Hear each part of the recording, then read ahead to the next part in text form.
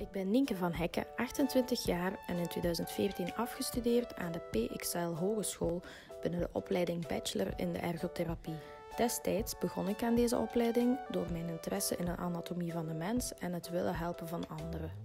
Een sociaal beroep leek me dan ook iets voor mij. Mijn droom was eigenlijk om later een job te vinden waarbij ik kon werken met kinderen. Die doelgroep die lag me als tiener en jongvolwassene al nauw aan het hart. Het om de zes weken examen hebben zorgde er destijds wel voor dat ik de leerstof goed kon bijhouden en de theoretische lesinhouden sloten uiteindelijk ook effectief aan bij mijn interesses.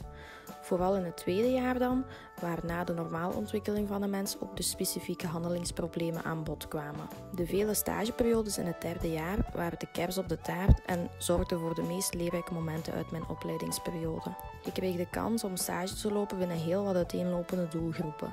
Van kinderen met een fysieke of mentale beperking tot volwassenen met een psychiatrische aandoening en ouderen met dementie. En begreep ook echt de meerwaarde die een ergotherapeut kan bieden. Het sociale contact, wat ik super vond, samen zoeken naar datgene wat een cliënt wil bereiken, een effectief actieplan opstellen en indien nodig bijsturen en dan de realistische doelen behalen, dat is echt geweldig en het mooie van de job. Ik kom meteen aan de slag binnen het KAR in Genk. En ja, ik was echt super blij, want opnieuw de doelgroep kinderen. Echt dolgelukkig, een job dicht bij huis en het KAR kende ik ook al van tijdens mijn opleiding. Ik kan mij uitleven op verschillende domeinen. Ik mag therapie geven aan kinderen en ik zie ze dan ook van kort bij groeien.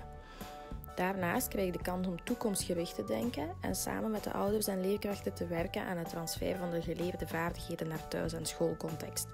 Want dat is uiteindelijk toch het belangrijkste.